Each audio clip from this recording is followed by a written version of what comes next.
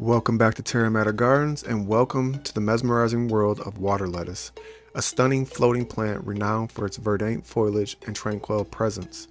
Water le- lettuce hails from the tropical regions across the globe, including South America, Africa, and Asia.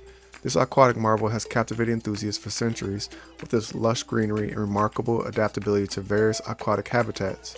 What sets water lettuce apart is its rosette of velvety leaves that resemble the shape of a lettuce head hence its common name. Each leaf is covered in fine hairs, providing buoyancy and creating a delicate texture. The plant reproduces through daughter plants or pups, which form at the base of mature specimens, contributing to its rapid spread. In aquatic ecosystems, water lettuce serves as more than just a decorative accent. It plays a crucial role in maintaining water quality by absorbing excess nutrients and providing shade, thereby preventing algae growth. Symbolically, this plant embodies tranquility and harmony, reflecting the peaceful coexistence of aquatic life forms.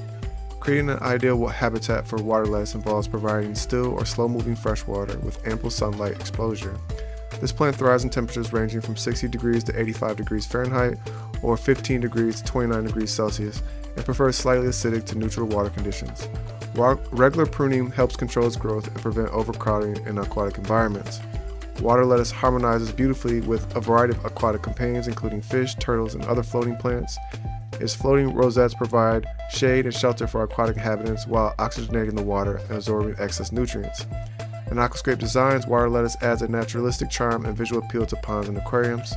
One fascinating aspect of water lettuce is its ability to thrive in nutrient rich waters, making it a valuable addition to natural filtration systems in aquatic gardens. Additionally, the plant's leaves can change color in response to environmental conditions, adding to its visual intrigue and adaptability. Thanks for joining us today. Don't forget to like, comment, and subscribe for more information.